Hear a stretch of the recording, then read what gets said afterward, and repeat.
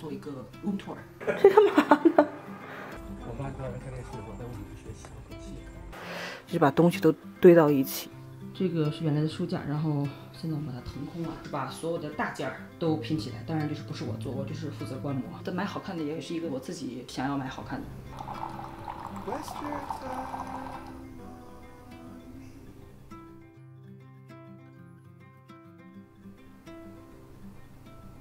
Waste your time.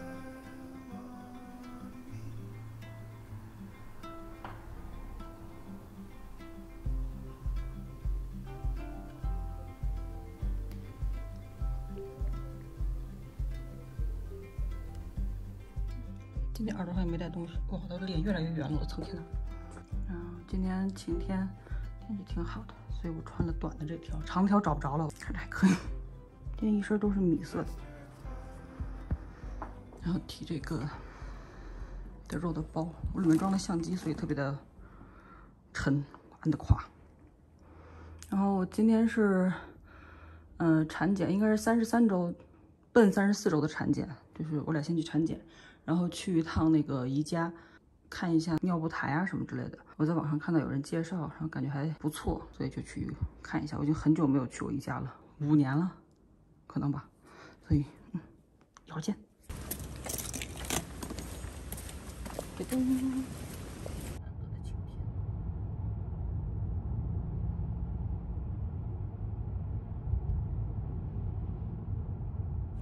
我们找 Rose 来了。哦，真的已经四五年没有来过这边了，熟悉又陌生。吃饭，吃饭，吃饭，吃饭，好饿。好多酒，但不能喝。哦。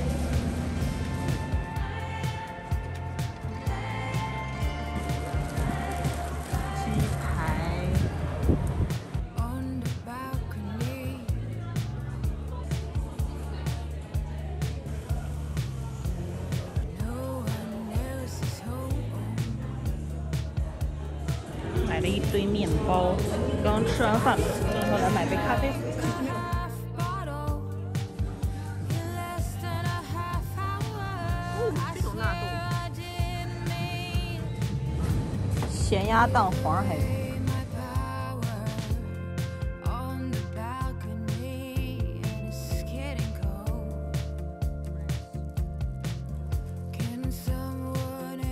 这个柚子汁真的非常好，拌沙拉，perfect，就有点贵。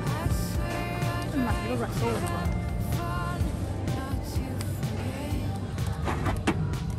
就这个黑的，黑盘吧。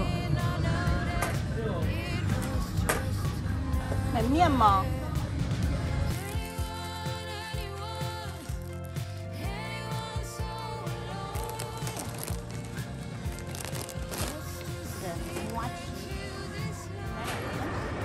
这真的很热呢。累。学习的玩的地方。为什么家长在这儿，家长在这里看电视，他在这里学习？咱挺好，那房子给他什么都没安，回头都给他新安，然后按照年龄可以调整，没有做家具。我爸一个人看电视，我在屋里学习。我在 我在里屋偷着想要看电视，不停的跑出来上厕所，看一眼。我小时候可爱看电视了。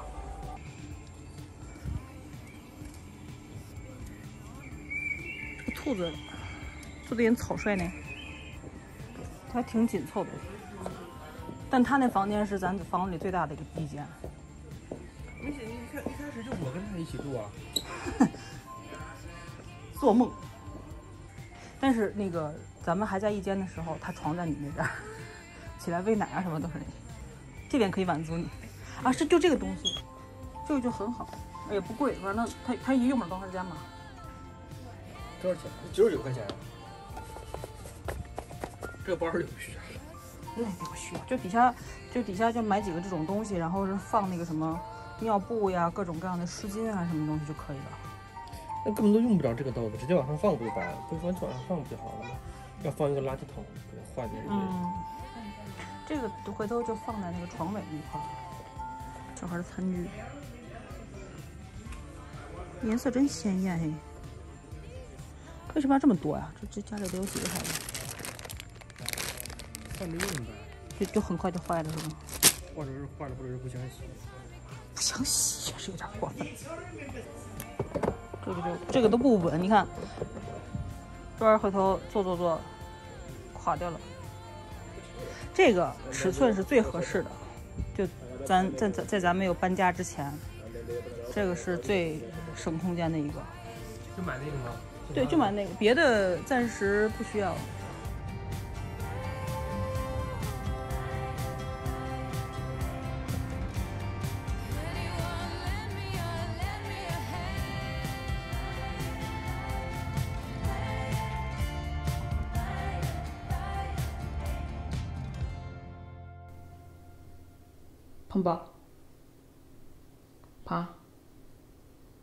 澎湃。没球。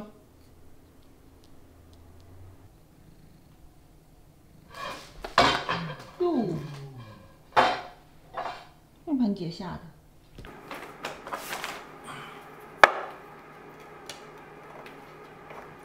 这他妈板子是一样的。这三个一样的。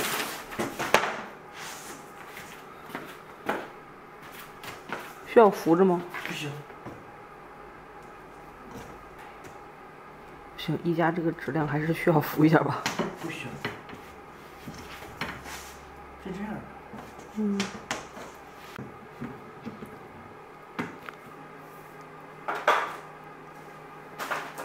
哎哎，不是轻轻的吗？怎么打起来了？哎，这干嘛呢？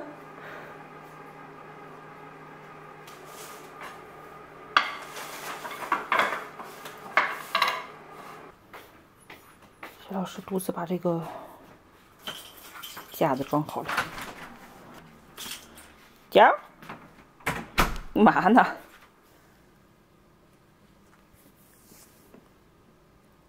你干嘛？你干嘛呀？疯疯癫癫的，你是不是疯他了？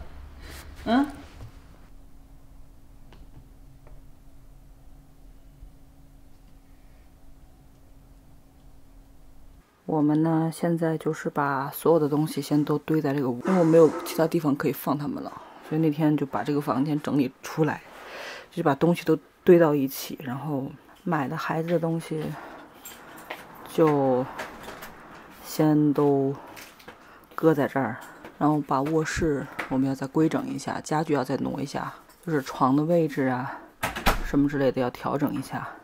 之后还有那个婴儿床，还有这个东西都是要放到卧室里面去的嘛，所以整个那个格局要稍微变一下。就是我们现在这个家已经没有太大可调度的空间了，然后我的这些家务事儿呢又太多，也没有可以挪动的地方，因为新房子毕竟还没有装修嘛。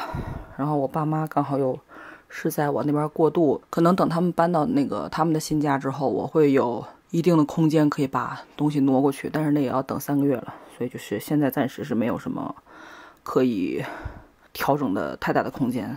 然后这个尿布台是我们拼好的第一样孩子的东西。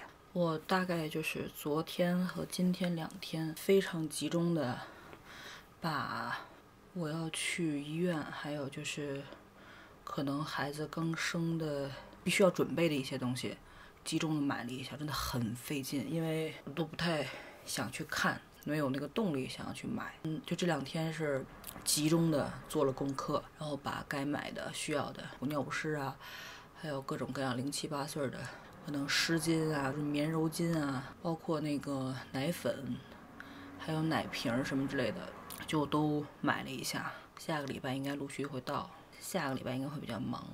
我们可能就先把那个婴儿的安全座椅安一下，然后把房间的那个布局什么东西调整一下，然后把婴儿床啊、那个婴儿座椅还有婴儿车都适当的安一下。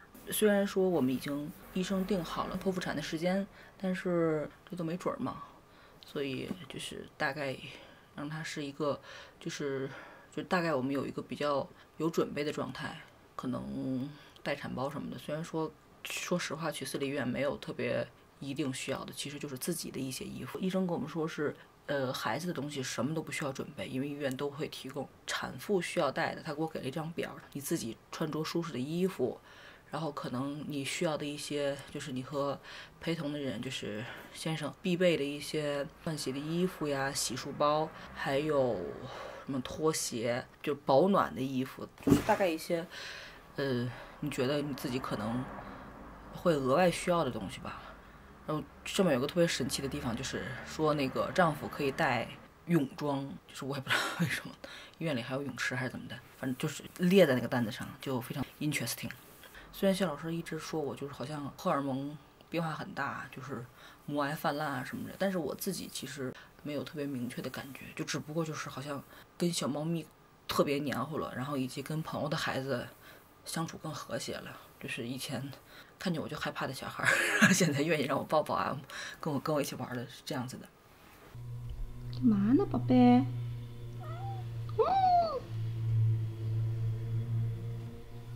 哎，亲爱的朋友们，现在看，现在距离我生预计划的还有不到两周，我东西已经买的差不多了，然后就是有一些东西还没有到。然后呢，这是经过我们重新摆放和整理的卧室一角，对，前方的一角，很明显，这边是一个尿布台儿，这个是原来的书架，然后现在我们把它腾空了，就是用来放一些孩子要用的东西。今天我们要做的就是把所有的大件儿都拼起来，当然就是不是我做，我就是负责观摩。那今天要拼的应该是有婴儿床，还有高脚凳，就是婴儿椅，还有婴儿车，还是什么玩意儿？不，就这三样，对对对。这三样。对对对，嗯。然后今天拼完了以后，差不多家具什么的就都全乎了。你看小家儿，走哪儿都陪着。嗯，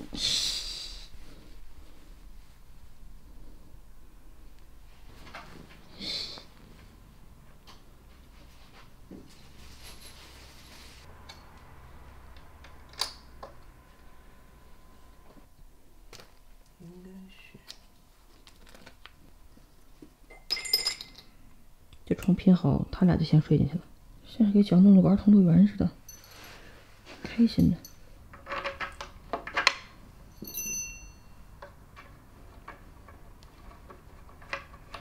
哎呦，宝贝，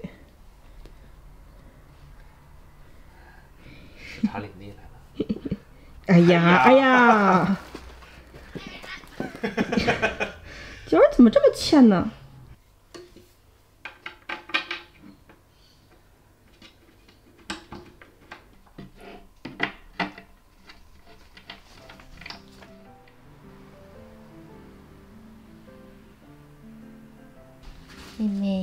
躲在下面呀？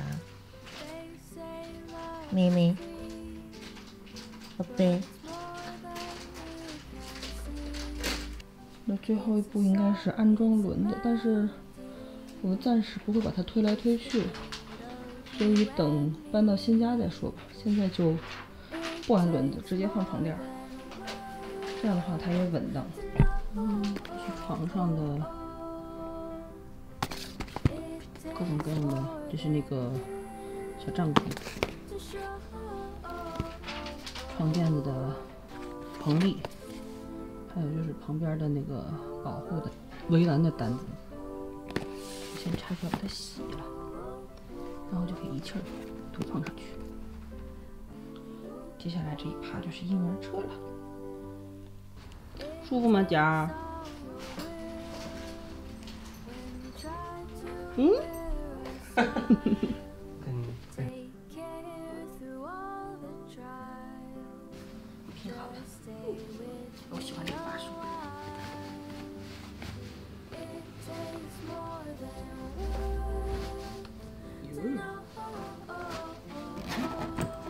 可以，nice。还有这个是座椅，那如果是刚出生的小婴儿的话，我觉得应该还是要这个床，就是提篮儿比较好，所以这个再换。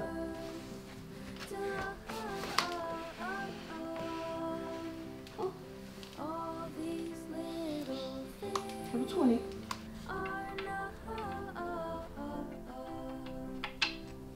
最后一个大件也拼好了，就等那个小孩大一点了以后，就可以换成那种坐的，大概从六个月以后，六个月到九个月，他开始坐了以后就可以换，这还能挂个东西。要在外面忙的话，就可以把这椅子搬在自己跟前儿，这样他在旁边躺着，走到哪儿搬到哪儿。这椅子不错，可以一直坐到很大，换配件儿就行。乔，这是你的床啦。到时候你跟弟弟一起睡好不？嘿嘿。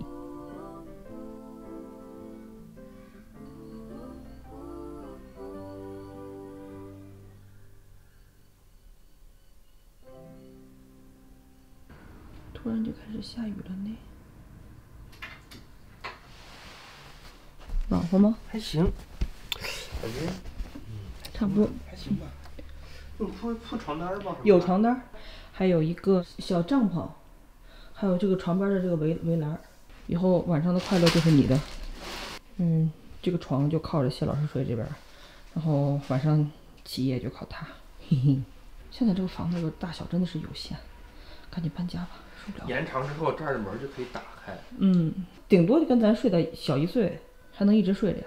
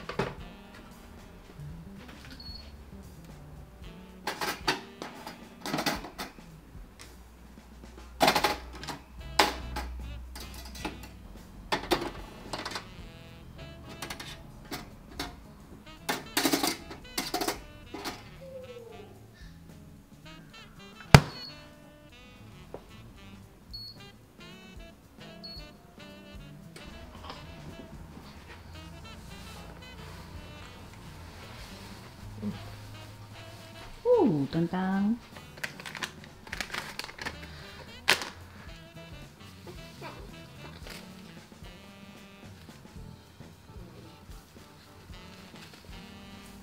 哎呦，那几个要快掉了快点掉，快点掉！哎呦，还连了一点儿了是吧？还连了一点点。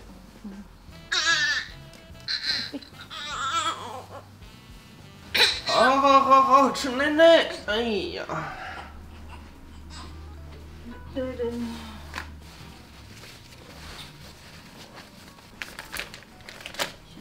说这个就是了，你可能醒一天呢。睡觉。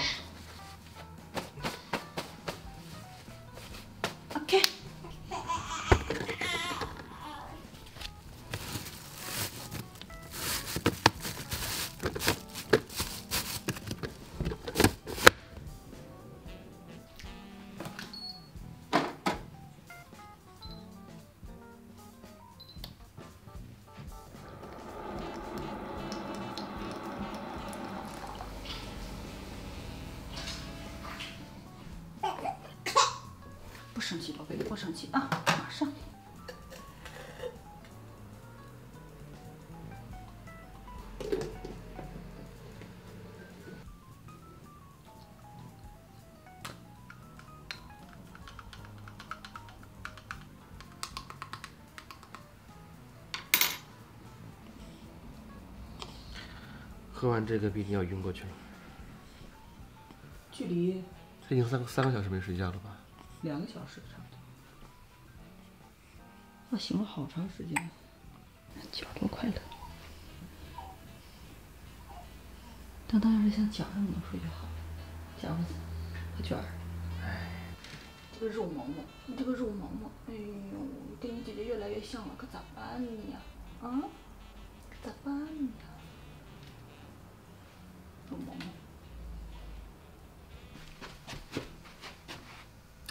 大家，今天给大家做一个 room tour，就是在我们有了小当当之后，我们的房间的变化。嗯，人生也有很大的变化，先感受一下房间的变化。就是有一些东西就是加加减减，然后格局也有一些改变。首先呢，这个视角看到的右边这边这一排呢都是衣柜，那里面当然都是我们的衣服啦，也没有什么好看的。然后前方就是小当当的区域。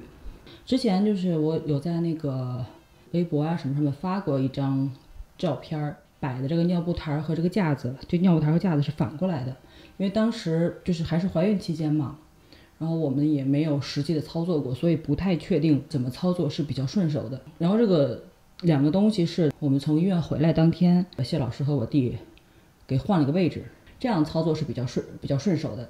然后是把那个装尿布的垃圾桶放在了正中间儿，这样的话整体来说这个流程是顺手。也就是架子上就是他的衣服，尿布架子下边就是各种各样的补充的东西，尿布啊，还有多的奶瓶儿啊，还有各种各样的就是湿巾、干巾，还有棉花球、棉棒什么的各种各样的东西。这个架子上就是衣服，还有各种各样的包巾，然后身上抹的乱七八糟的东西，还有就是喂奶的一个区域。对，喂奶就是在前方这个沙发上，这个也是那个当天回来以后调整的。这个沙发上这个角度还有这个坐姿是最舒服的，因为坐在床上的话，其实后边没着没落的是不太好喂奶的。然后就是床了，大家如果之前有看过我的那个发的照片啊什么之类的，应该有知道，就是我以前房间的格局完全不是这样的嘛。我的床本来是靠在这边窗子上的，这边墙原本是放那些乱七八糟东西的书架，以及就是放了很多书的，还有乱七八糟的什么我的香水儿啊，还有指甲油啊什么之类的。之前旁边就是本来放床的这个地方是一个大的六斗柜，然后里边就是放我的一些衣服呀、内衣裤啊、袜子啊什么之类的，还有包括上面放的都是些什么，就也是零七八碎的首饰之类的，就全部都挪到旁边那个房子去了。现在旁边那个房子呢，完全是一个储藏室了，因为我们的东西就主要是我的东西太多了，所以那个房间是没有办法把它腾出来的。然后我爸妈又刚好赶上那个他们换房子嘛，他们现在住在我那个新的房子里面，是过渡几个月嘛，所以现在就是比较尴尬，我不可能把东西挪到那边去，而且暂时小当当也是没有办法独立住一个房间的，他还是要跟我们睡在一间，所以就是我觉得这样是最合理的。我是靠墙睡，然后这个外边儿现在三角躺的是谢老师睡的位置，小当当是靠谢老师睡，因为晚上的那个夜奶都是谢老师喂嘛，所以这是一个比较合理的位置安排。三角宝宝真的是过得很开心呢，吃了睡，睡了闹，闹了再吃，吃了再睡，最近可胖了呢。然后前方这张床就是小当当的床，就是有孩子的人应该都认识，是 Stoke 的床。对，当时就很喜欢这张床，就因为样子很好看。然后我是选了原木色的这一款，因为我觉得原木色就是到时候等我们搬了家，当当他的那个房间不管怎么装饰，就是原木色都是比较好搭配的。就是我个人的喜好来说，这个床它是有 mini size 的，就是更小一点，就是中间少一截。然后但是因为我比较懒嘛，虽然说床也不是我拼，但是还是比较懒，就是不想中间再多一道程序，就直接选了它，已经是一个就是在中间的一个能用到两三岁的一个长度。等到它再长大一点，这个床大概是可以睡到它六岁还是几岁？十二岁，反正是这个床是可以当一张儿童床来使的。之后可以拼得很大，中间这这个可以取掉，然后就把它加长，所以它可以变成一张很大的床，变化还挺多的，我比较喜欢。而且你像它配的这个小帐篷一样的东西，就比较罗曼蒂克。然后这个床现在就是在一个中等的高度，就是因为当当现在还不能站起来，然后我们去抱它呀、放它都是一个比较合理的深度，就跟床差不多一样的高度嘛。你要等它到时候再高一些、再大一些，然后也能站了、也能蹦了，这个床的那个床床板、床垫就可以整个往下沉，然后这就可以当做一个围栏，是比较安全的。自从当当回来了以后，花卷是从来没有跳进来过。我还没生的时候，三角都是在床里边睡。然后自从那个当当回来以后，角就没有再进来过了。所以这个不把它打开的话，它们可能会有一个界限感。它虽然说这个是有一个保护的垫儿，但是因为当当现在还小嘛，我们还是会垫一个棉的隔尿垫儿，不是换尿布的那个一次性的那种，因为有的时候他晚上要是睡觉时间比较长的话，其实是有点会露出来，会把衣服和那个他的睡袋沾湿，然后有的时候也会粘在隔尿垫上，所以就要隔一下。生之前嘛，我就觉得东西随便买一买，因为那个时候我没有任何感觉，没有当妈的感觉。当了妈以后，这个心态变化好大，就当然跟激素也有关系，然后跟你这个人本身的变化也有关系，然后就什么都想给他买，然后什么都想买好看的给他。但买好看的也有是一个就是我自己想要买好看的。你看这个包巾，就是这个是我朋友送给当当的礼物，然后觉得很好看，这两天又在网上看，就想多给他买几条。虽然说他以后也不会记得了，这都是我们看的。哦，对补补充一点，这床拼也还是挺简单的，谢老师一个人独独立都完成了，我完全没有搭手，所以就是还是挺方便的。我又很害怕，如果这个东西拆出来的话，如果有那种就是比较明显的，可能是漆的味道啊，就哪怕是木料的味道，我也会觉得不太好。然后就是我们反正提前把它拼好，也没有味道，但是也稍微散一散，不管有什么样的东西都散一散，对吧？然后因为这个房间的宽度就只有这么大，所以我们就把床头柜放到了床尾，其实就是放点零碎的东西嘛。那可以放个花啊，然后就是我的水杯啊、闹钟和护手霜啊什么之类的。然后这个尿布台儿，之前那个我还犹豫说要不要买，我本来想说其实在床上也能换，但是后来发现这玩意儿真的很有用，因为在床上的话你很容易手忙脚乱的，然后这些东西其实全部都摆在旁边的话，会非常的就手。然后其实能简化很多问题，尤其要擦的呀，还有垃圾桶呀，包括就底下扔尿布的垃圾桶，都放在一起的话，就是减少手忙脚乱的程度。而且小宝宝就是很容易在你换尿布的时候就嘘嘘的，或者是噗噗了，就是措手不及。对，就是这样子的。然后我们买的这个尿布台儿就是那个宜家的这一款，这个也是那个所谓的固定搭配，就很有用。你像这个桶就用来扔纸巾啊，还有湿巾。然后这个纸巾，这个纸巾很软，所以我们就放在这儿。就我也买了干巾，我其实分不清楚什么叫棉柔巾，什么叫云柔巾，就对我来说就干的和湿的这个分别。还有纸巾，干巾买的是这个嘛？我当时还是在网上做了很多功课的。这个确实很好，但是就是我感觉用不上。我买了六七盒，我本来下单的时候下了十二盒，幸亏人家没货了。就是这个我寄了七七盒，very good。这个我到时候就当擦脸巾用了啊，因为它吸水，我感觉没有纸巾那么好。一直拿干巾擦它的那个屁屁的话，我觉得摩擦的这个程度会比纸巾更高一点，因为纸巾你去轻轻蘸一下，按压就可以了。那个的话反而没有那么好，所以我觉得用柔软的纸巾就可以。湿巾的话，我们就用的这一款，这个我觉得干湿程度就差不多，就医院里面用的那个，那个就是水真的太多，然后每次擦擦完了以后，屁屁要湿好久，我们就还要拿纸巾把它蘸干，然后还要再扇扇风吹一吹。一次性的尿布垫儿也买了挺多的，就像刚刚看到那个情况，它就是会在换的时候突然就嘘嘘了或者噗噗了，所以这个一次性的还是很有必要的。买的是这个嘛，这款嘛。就我生之前大概先买了六盒，然后我感觉可能够，然后后来回家来以后，过了一天就发现不够，然后又去买了六七盒，然后这儿这个里边就放的是这个要换的尿布垫儿和它的湿巾，然后这儿放的是它的那个屁屁霜，这个我也是做了挺多功课的，我看了以后感觉是这个德国的拜耳是吧？这个好像是比较好的。然后当时在医院的时候，我们也有问医生，我跟医生说我买的是这款，医生说这款挺好的，所以就还比较放心。然后这个是就碘伏，没有什么好说的。然后这个是棉签儿，然后这还放了个指甲剪刀。我本来就只有买这个贝亲的这个指甲剪刀嘛，这个还挺好用的，但是剪的话就会有一点手抖，就害怕剪着它肉啊干嘛的。虽然说我也不是那么粗心的人，但是就是还是会担心，所以我就又买了一个这个打磨的这种机器，磨指甲的这么个玩意儿，这样的一个机器，然后不同的这个打磨的头。颜就是颜色最浅的，就是小月龄，一路往深，就是年龄大了开始往上用的那种。但是我们俩昨天用了一下，给它试了一下，就感觉磨得很慢，压的稍微实一点点的话，它就会停下来。当然这个是很安全的一个考量，但就感觉没劲儿，所以就是还要再感受一下。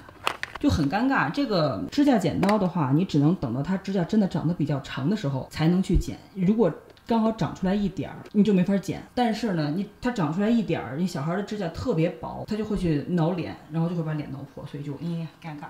然后这个盒里边放的是测温的这个温度枪，但是，嗯哼，因为我看有的人说往耳朵里边塞的那种就是耳温枪，小孩会比较抗拒，然后所以我就买了这个。但是这个就是测额温的话，其实不太准，所以我现在还要去买一个那个测腋下温度的，腋下温度是最准的。就是我们在医院的时候，医生也是给他测腋下温度，所以我去买一个腋下的温度计。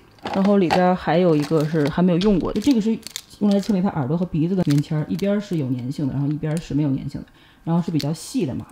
就比较适合小婴儿的耳孔和鼻孔。然后这个是买的清理鼻子的，但是我们还没有用过。这层大概就是这样。然后这个尿布台的底下大概就是各种各样的囤的东西。你看这个是买的这个棉片，他洗澡的时候顺便给他洗脸嘛，或者是有时候早上给他擦脸，就是用热水把这个棉片沾湿了以后给他擦脸，这个摩擦会比较小。然后这个也是，反正要给他擦脸或者有时候擦屁屁用的。就棉花球，然后后边就是一些乱七八糟的，这都是之前买的还没用上的奶嘴，但是我感觉用不上了，因为买了一堆奶瓶，但是它最后只用一种。那这个是朋友送我们的咬咬胶，但它还没有到开始用的阶段，还有书啊什么之类的，这就是一些反正囤的乱七八糟的东西，就暂时还用不到的，我就先全都放在这儿了。还有这多的一个指甲剪刀，还有它的那个。刷牙的东西，然后这有一个小枕头，是悉尼，呃，在北区一间开 Mickey House 的店的女生送给我的。她送了很多东西，包括奶瓶啊什么东西，就非常感谢她。但是医生说，就现在暂时不要用枕头，所以就是还没有给她用。然后这儿就是随时拆开的药罐子，刚好往上放一放。然后这边就是当时我买的那一堆奶瓶，像贝亲的。两个玻璃瓶儿，怎么说呢？这个奶嘴儿最小号太小，然后小号又流得太快。之之前刚回来头两天，他拿这个喝奶就呛得很厉害，然后就不能用了。还有这个 Caddy King 是吧？就是我从那个国内淘宝的官网上买的，呃，王秘书给我寄过来的，说是防胀气啊什么之类的一个瓶子。搜了一下，口碑还挺好的，但是也是那个不好用。对当当来说不好用，因为每个小孩都不一样，所以他。不用这个瓶子，也就搁在这儿了。它有小、中、大三个奶嘴，但是就嗯，先暂时放着。然后这个就是刚刚提到的那位女生送给当当的这个 Mickey House 的奶瓶，这个很可爱。这个应该之后可以给它喝水用。之后这个牌牌子就是这个小熊的，这个它暂时还用不到，因为比较大。它还有很多很可爱的那个水壶呀、辅食罐呀。新有一个网站上。就是专门卖日本的那个，就叫什么 Panda and Kids，好像是叫这个吧。就那个网站上有挺多这个牌子的水壶呀，或者是奶瓶啊什么之类的，还有包括那个辅食罐什么的。到时候他到了那个月份的话，可以给他买啊。这个是叫那个 Girls Mini。然后我还要给他买两个这个 Look，我还没有给他试过，但是这个奶嘴就是跟他现在唯一用的那个 Mom 或者是 MAM 的那个。奶瓶是很类似的，我感觉应该可以用。然后这个它是零到六个月的，然后奶嘴的话是 M M 码的，所以我觉得应该是等它可能满月以后再给它试一试。我有个朋友，他孩子也是那个一直用的这一款，说还是挺好的。就现在当当在用的是 Mom 那一款，我买了三个嘛，因为最小号的只能用大概头一个月多一点儿，至少得换奶嘴。然后等他喝的多了以后，因为一百六十毫升的，用不了多久。我就给买了三个，然后刚好他差不多一天是吃六到七次奶，反正洗两轮，洗烘两轮左右的样子，还比较合理，能转得开。这个是为了那天就第一次出门先去买的这个装那个奶粉的那个罐子，我看了一下，我我觉得这个一个是它挺好看的，然后我感觉比贝亲的那个要好一点，然后后边就是一堆那个出门用的纸巾，我现在就是旁边。我给他喂奶也是拿这个给他擦那个他漏出来的奶，嗯，然后这就是一堆消毒的酒精棉片儿。啊，对，还买了两个这个，对，就是就是他现在用的这个牌子，就是这个牌子，他现在用那一款可以用到两个月，然后又买了两个月加的这个奶瓶，到时候好用的话可以再买一对儿。后边就是一些囤的。消毒的，就家里可以给冰箱消毒。然后给他的那个 baby chair，就是那个婴儿椅高高高凳消毒，还有他的玩具啊什么都都可以消毒的。然后这个我就买了两大瓶，另外一个我在客厅放着，平时擦各种各样的东西。然后还有就是，反正也是消毒液。我本来没生之前还跟那个网上的网友们还在那儿激情 battle，就说不行，孩子不能养得太细，呃，消毒什么的，就是太过分的话，就对他来说也不是很好。结果到了医院，我就问那个儿科医生，我说我有必要给他那么消毒吗？就包括有没有必要给他买那个消毒奶瓶的那个消毒柜什么之类的。医生说 yes，你需要买，嗯，就是就是是有必要的。然后我这个人就是非常听医生的话，就是医生说要买我就买了，就是一切问医生，医生说 yes 就 yes，医生说 no 就 no。虽然说每个医生的想说法也都不一样，但是没办法。然后现在他在用的暂时是这贝亲的这个洗衣液，然后我买的是那个日版的，然后我暂时觉得还挺好的，因为我也没有试过别的。它就是质地比较水，但是我觉得就是因为它一个是没有任何添加，没有任何味道，涮的很干净，这个比较好。然后这个贝亲的洗奶瓶，还有洗蔬菜的，就蔬果的这个洗衣液，我虽然买了，但是我现在在用的是那个 Milton 那款，因为它现在也没有要吃辅食的必要嘛，所以就是洗奶瓶啊什么东西的，而且平时就是我也不会每天都用洗奶瓶的那个洗涤剂去洗，因为那个确实可能不太好，一个是怕有残留，再一个就是说确实没有必要，所以我们大概是我的计划是洗奶瓶我第一次洗是用那个洗的，然后偶尔可能碰到脏东西的话我会用一下，就比如说掉地上啊，或者是碰到那个台面上。我会用一下，其他的时候我都是按照那个医院发的那个册子上写的，就是用冷水、清水洗干净，然后用那个热水、用开水，然后大概泡五分钟，就是消毒，就开水消毒，放到这个消毒的机器里边烘干。底下这一层就是各种各样的那个囤的东西，这个就是刚刚说的干巾，我感觉就是不太好用，这就是当备用的洗脸巾用吧。但这个干巾本身是很好用的，比如说当洗脸巾用，它就非常的好用，就是质地啊各方面都不错。这儿就是囤的一堆它的这个一次性的尿布垫，后面应该都是。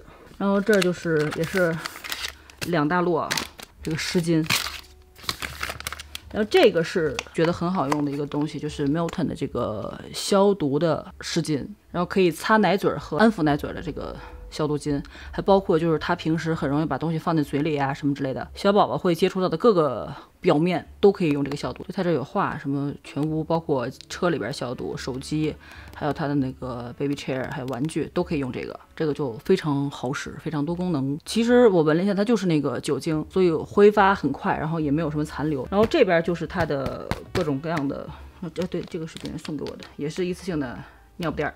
然后这边就是囤的一些尿不湿，现在他在用的就是这个 moony 的这个纯棉的这一款，然后我觉得还挺好用的，但是好像是后背有点短还是怎么的，就是偶尔可能如果尿了两次的话，就会那个从后背哕出来。就会沾到衣服或者是底下的垫子什么之类的，尤其是它这个尿布，它不勒小孩的腿，就主要是比较舒适。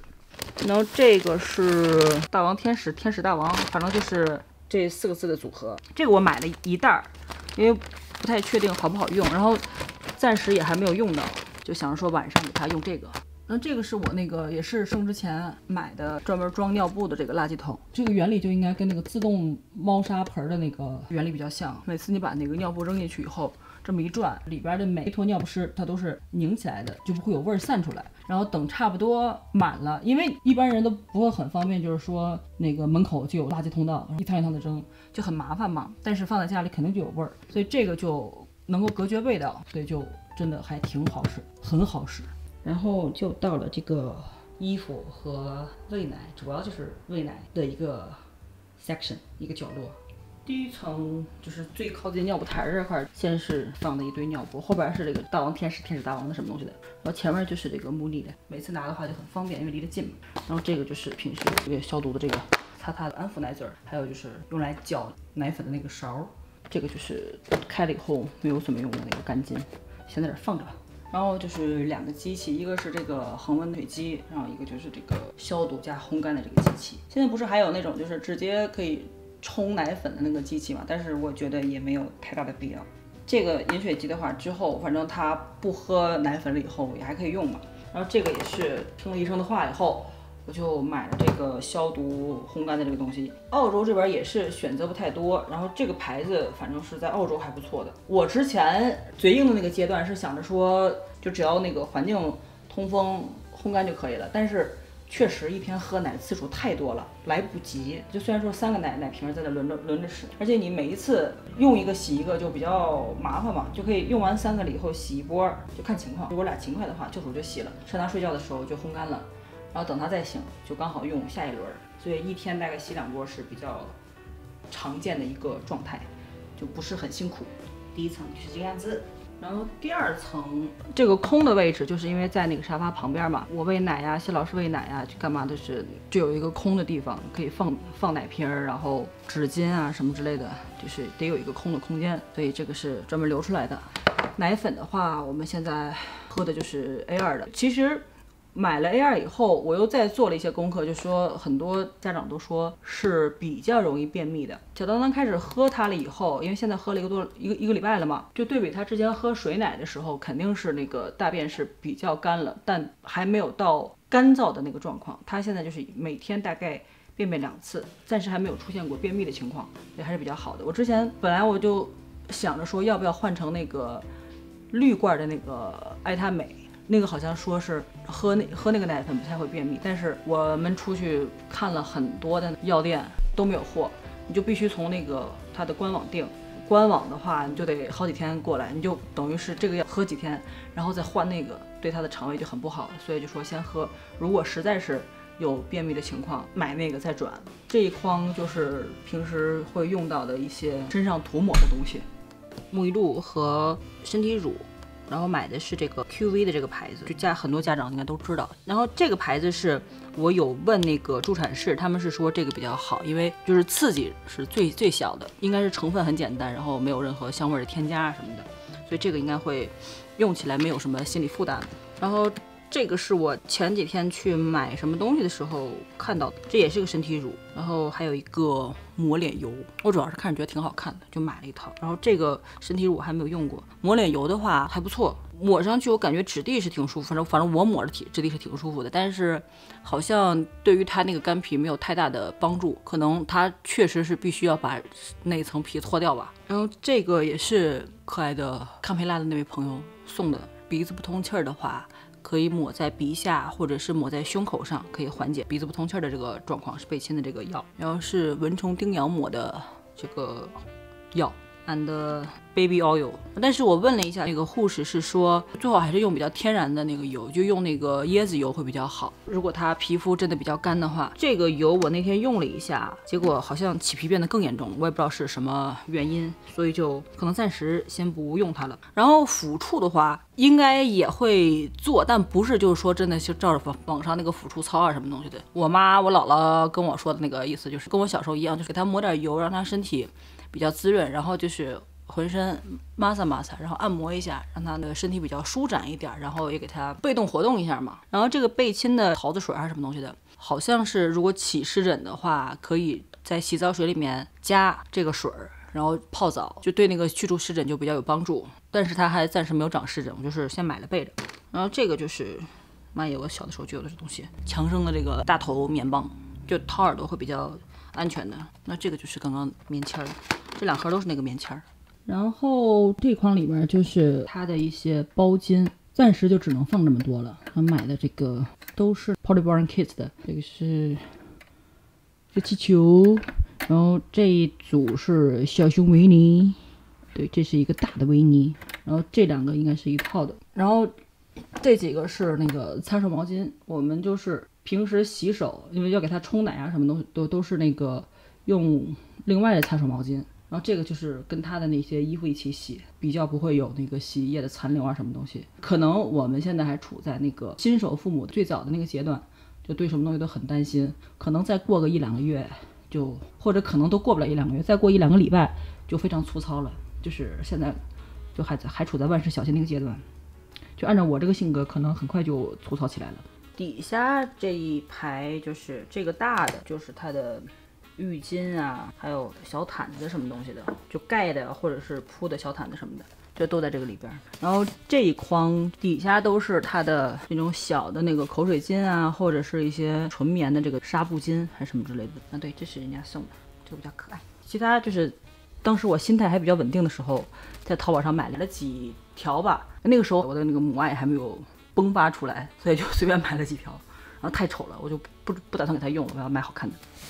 然后这个是 Love to Dream 的那个叫什么来着？那个防惊跳睡袋，S 码的，因为现在我们这边是夏天嘛，所以我就是 S 码的和 M 码的各买了两条，然后每个号都是我买了一个零点二 Talk TOG，就是比较薄的这一款，还有就是一点零的这个比较正常的，就是就标准的这一款。我发现就是这个东西必须得至少备两个，因为就是会很快脏，基本上每天都在洗，所以就要有一个轮着换。后面那些有很多是那个朋友给我的，因为当时我也不知道该准备什么嘛，然后朋友就给了我一些那个他儿子之前的那个衣服。当时因为可能不太知知道应该怎么买，然后买多少，所以他就整理出来一些，大概说让我可以可以撑到我出月子。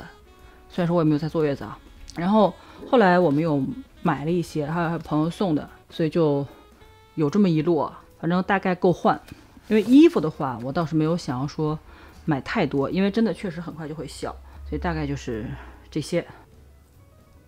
那因为今天比较热，所以就当当在外边睡，他爹在这看着他，因为他现在还不会翻身嘛，所以就没有把那个给他扣上。而且扣上的话，我担心它会有点热，其实也可以给它盖一个小被子，把肚子盖住。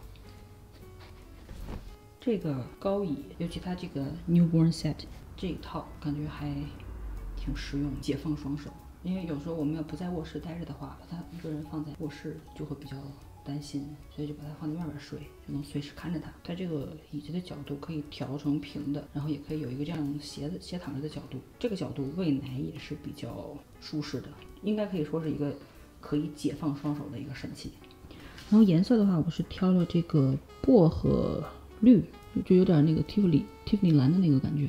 其实男生女生都可以用，还挺清新的。我也不想就是说所有的东西都是原木色呀，或者是太素，然后有一点点比较跳的颜色，同时也是对我来说没有那么扎眼的，就比较好看。高凳比较好的就是说，它现在搭配的这个 newborn set 是等到它再稍微大一点儿。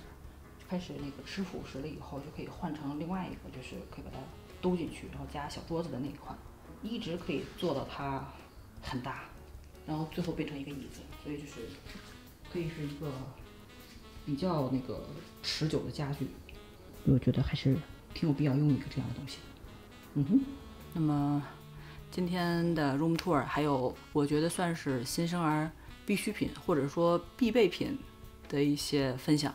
就到这里了。我觉得我准备的东西算是比较合理的，不是特别多，该用的就需要的也都准备了，大概就这么一个情况。有需要的同学可以参考一下。如果大家还有什么想看的内容，可以在弹幕或者评论区留言告诉我，我就继续拍一拍。